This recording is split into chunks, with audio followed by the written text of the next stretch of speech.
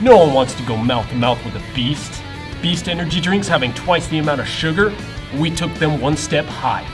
Now, from the creators of Boost, we bring you Boost X with twice the amount of caffeine. Damn it! Cut the camera.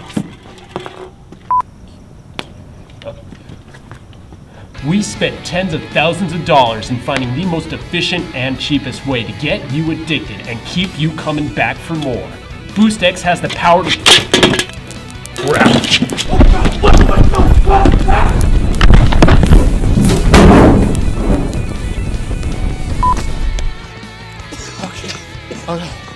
Um, uh, now you see the the power of Boost Boost X. Dude, dude, dude. What? Get me out of here. Cops.